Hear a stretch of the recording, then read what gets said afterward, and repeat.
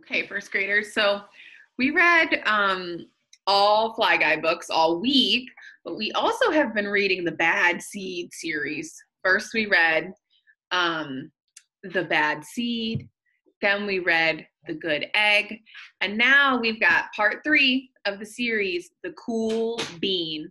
Let's read and find out what type of character the cool bean is. Cool Bean. Written by Jory John and Pete Oswald. The Cool Bean.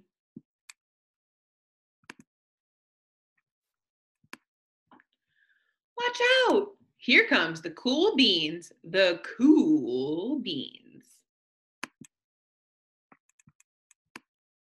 Oh yeah, check out how they move. Look at the way they swagger. Notice their sunglasses. Yow! The cool beans are known all over school, from house to house, across town, beyond county lines. So, so far they've told us they have swagger and sunglasses, and that is what makes them cool.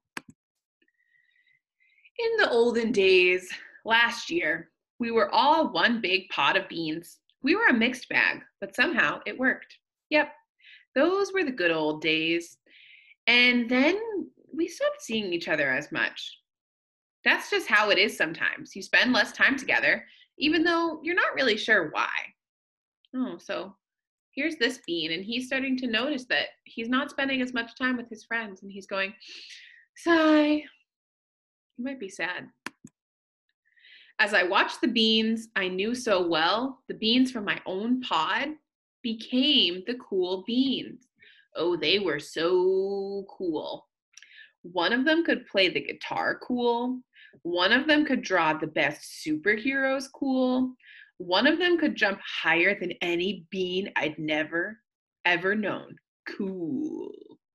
So they can play the guitar, they can draw, they can jump really high. I guess that makes them cool. What do you think? Me, well, I mostly stayed the same. Sure, I made some small changes. I wore sunglasses, too big. I slicked my hair back, too slick.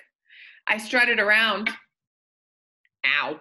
I swaggered, oof.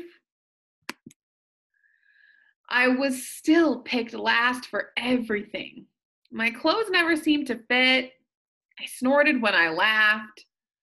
I walked into stuff. I was an uncool bean for sure. I started thinking of myself as just a common bean with no special skills. I couldn't compete, so I didn't even try. I'd never be a cool bean. Wow, so it seems like this little bean is feeling pretty sad.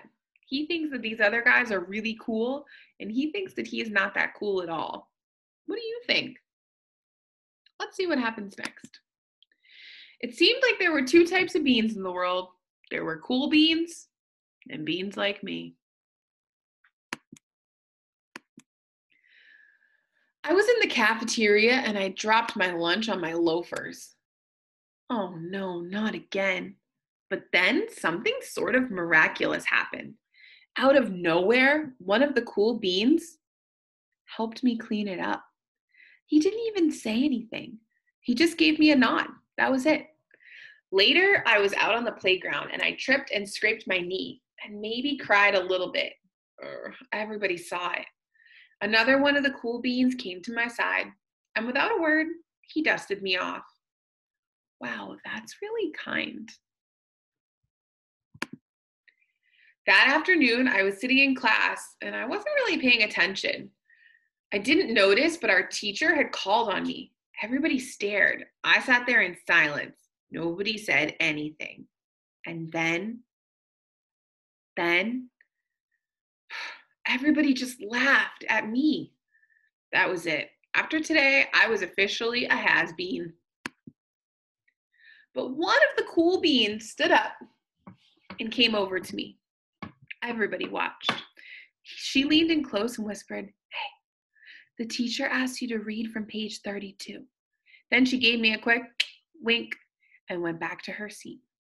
It was a small gesture, but it was also everything. Wow, again, the cool beans are being nice. First, the other bean helped him up on the playground. Now, this bean is helping him when he got a little confused in class. I walked home with my with a goofy smile on my face. I smiled all the way through dinner. That day made all the difference. It was a day that could have been really bad, if not for the kindness of a few cool beans. It gave me some confidence, and that shred of confidence began to grow. Someone had my back, a few somebodies. After that, I started hanging out with the cool beans again. How have you been? Get it? How have you been? Not all the time, but sometimes. At lunch, after school, and even on the weekends. Throughout all of this, I realized that it's not about how you look or any of that other silly stuff. It's about a wink or a nod or a smile at just the right moment. It's about dusting somebody off and helping them up again and pointing them in the right direction. You need a hand? Yes, please. Now that's cool. Wow. So, this book was teaching us about how it's cool to be kind. It's cool to help other people. So, today in your journals, I want you to write about why it's cool to be kind. I think it's cool to be kind. One reason is, another reason is, for example, that's why I think. I'm going to share the persuasive writing sentence starters with you to help you out. Let's see. That's not it. Whoops. All right, let's find them. Persuasive writing sentence starters. Persuasive writing, it means convincing, convincing other people to think the way you think. So you want to convince other people why being kind, being nice to other people is cool.